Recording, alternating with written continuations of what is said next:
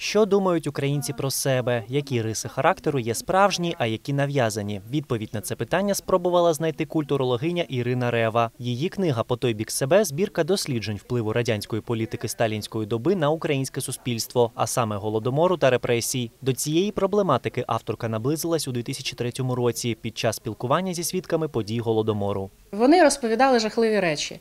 Їсти нічого, поїли собак, е, поїли там е, равликів, ловили в річці. Приходили, забирали, забирали останнє, забирали навіть те, що в печі готувалось.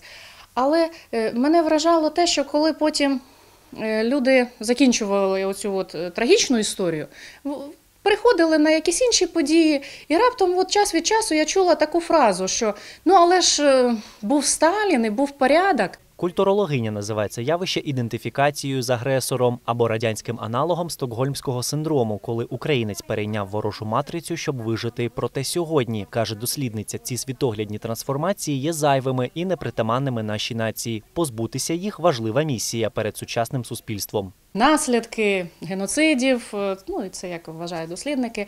От вони тривають десь 3-4 покоління. І якщо їх не переосмислити за цей час, не подолати, то в принципі вони можуть закріпитися на рівні суспільства як е, суспільні установки, тобто стати вже якби частиною світосприйняття цього суспільства. Свою думку також висловили і гості презентації книги. Завдяки умовній грі дніпряни спробували відокремити властиві українцям риси від нав'язаних. Ось пан Микола первинною властивістю українців називає те, що ми першопрохідці. Багато хто про це просто не звертає на це увагу, але це стосується як сільського господарства, так і космосу. Адже у українців на тисячу населення 300 винаходів в усіх галузях. Зі 100 імен в космосі, наприклад, а, 80 з України, 60 з Дніпра. Ви записуєте ті негативні риси, да, е, якими нас е, також характеризують, і які ми самі у себе знаходимо. Працьовитість, негативна риса. Тому що ми не йдемо керувати самі своєю державою, розумієте? Ми думаємо, та ну його Ну, така з моєї пасивна точки позиція. зору. Те, що ми не йдемо. Вона не пасивна. Ну, не притаманно Вона не пасивна. Кожен сам собі господар і все. Я так думаю, що це просто наслідки. Я, я не вважаю, що вона негативна і не вважаю, що вона позитивна. Говорити про ці наслідки психологічної е, травми. Потрібно не для того, щоб залякати наше суспільство, от ми такі нещасні, от у нас така карма там і так далі. А для того, щоб люди розуміли, що це те, що прийшло ззовні внаслідок е, цих от подій.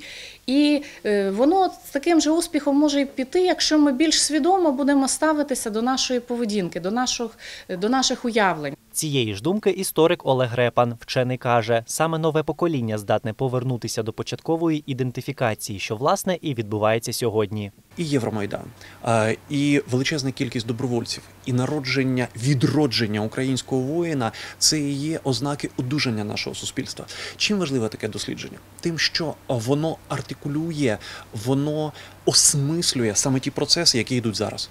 Станіслав Пивонос, Руслан Герасименко. Новини 9 каналу.